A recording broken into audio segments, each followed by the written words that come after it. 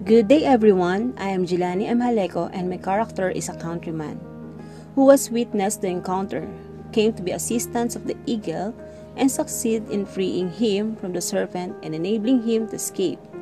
In revenge, the serpent spat some of his poison into Matt's drinking horn. And my story is about the serpent and the eagle.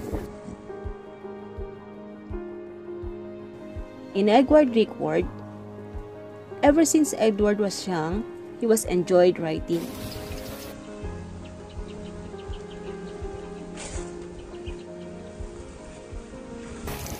I was curious.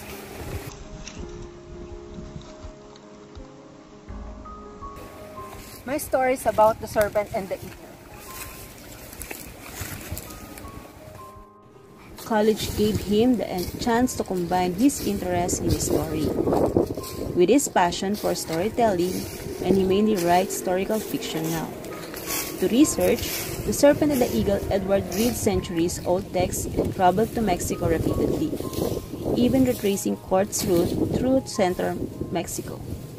For his writing, he has won the Grand Prize Award in 2018 Chaucer Book Awards and Dexter Swain prize for his undergraduate thesis on the Spanish Mexico. The serpent is here. And what happened to the eagle?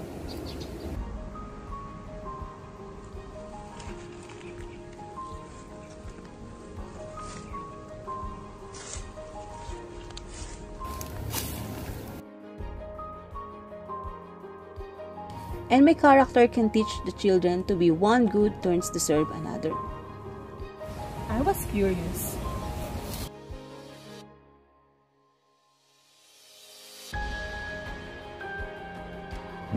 The idea behind my character, the countryman, is that if one person does something kind, it is good to repay that kindness with a nice act of one's own. This idea helping once and receiving help lating, later in The Serpent and the Eagle by Edward Rickford. And I am the countryman. And I was enjoyed good historical fiction, especially if it follows history closely. Learn something as well as be entertained. I believe that this is why the majority of us enjoy this fictional story. And in my own in my own as a children, they can be nice and kind to one another and having a good heart to help everyone. Thank you.